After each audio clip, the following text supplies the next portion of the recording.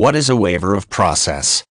Generally, anyone against whom a legal action is being taken has a right to service of process in the manner prescribed by his or her jurisdiction. A waiver of process is a defendant's formal waiver of that right. Service of process is typically made in person by a third party, directly to the person who is to be served, though jurisdictions have enacted certain rules to make it easier for plaintiffs to serve defendants. In the event that the plaintiff has special difficulty executing proper service of process on the defendant because of particular circumstances, he or she may request that the defendant make a waiver of process. The defendant has a duty to waive such process if the circumstances dictate, and if he or she refuses to comply the court may later impose on the defendant the costs of service that the plaintiff had to pay due to the defendant's failure to waive. The specific rules for proper service of process vary from jurisdiction to jurisdiction.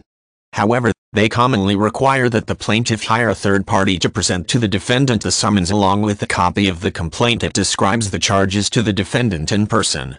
Some jurisdictions have deemed certain methods of mailing to be sufficient in serving the defendant with process. Otherwise, the plaintiff will have to seek a waiver of process to commence the action. In some circumstances the defendant may not be easily reached through any of the methods the jurisdiction allows to appropriately serve process. For example, he or she may have several different households in different locations that he or she resides in at different times. Alternatively, the defendant could reside in the country in which the plaintiff is filing the case, but is presently elsewhere for business in a country where serving the defendant would be particularly expensive or difficult. These are the types of circumstances that dictate that the plaintiff agree to a waiver of process. A waiver of process has certain requirements, the specifics of which depend on the jurisdiction in which the case was filed.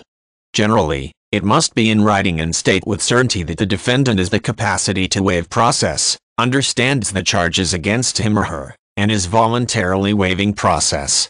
If the circumstances are so unfair to the plaintiff that he or she cannot serve process with reasonable expense, he or she formally requests a waiver, and the defendant fails to comply, then the court may later require that the defendant reimburse the plaintiff for the costs incurred in executing service of process after the defendant's denial of the waiver.